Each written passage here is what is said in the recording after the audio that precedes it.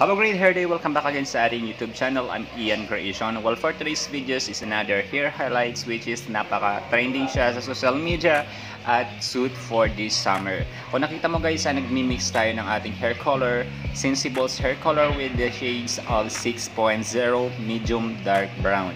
So ayun na guys, ang buko ng ating client, meron na siyang regrowth at meron na siyang meron na rin siyang ah, white hair. So kailangan natin muna siyang pantayin at makover natin ang kanyang white hair bago tayo mag-highlights.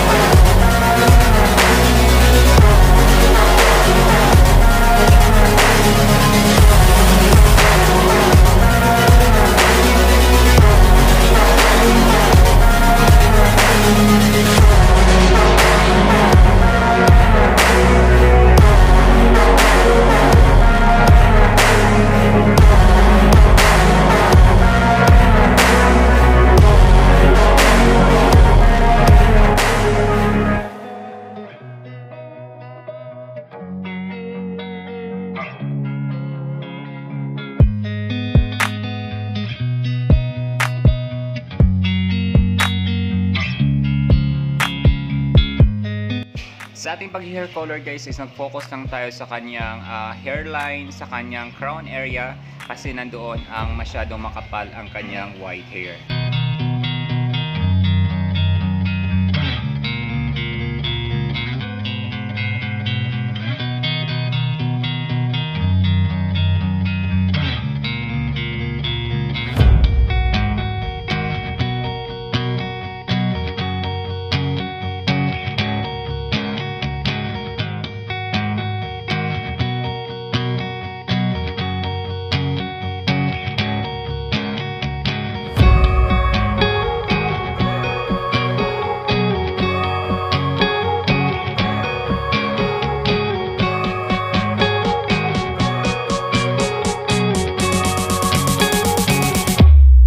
So ayan na guys, tapos na tayo mag-apply ng ating hair color. So kailangan lang natin siyang ibabad ng at least 35 minutes pa natin siya i-range or ating banawan.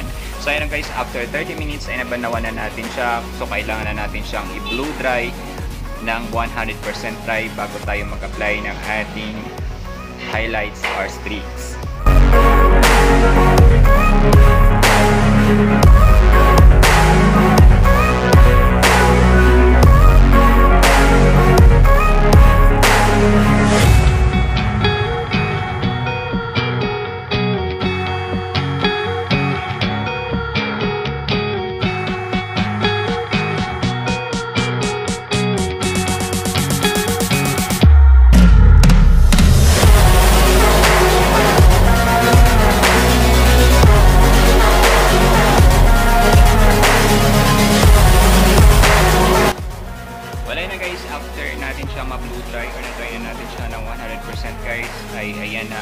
Ang naging kalabasan ng ating hair color sa buhok ng ating client. Sa this ay kailangan na natin siyang streaks gamit ang Magic Cup.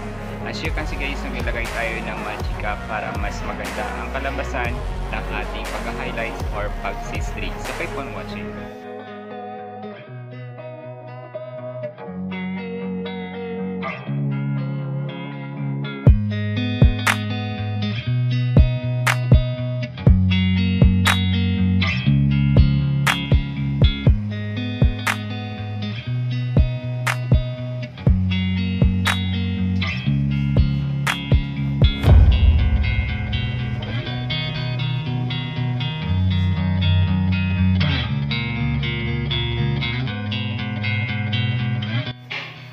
Guys, kailangan na natin siyang applyan ng ating hair bleach. Ang ating hair bleach yan ay nasa 12% ang ating oxidizing cream.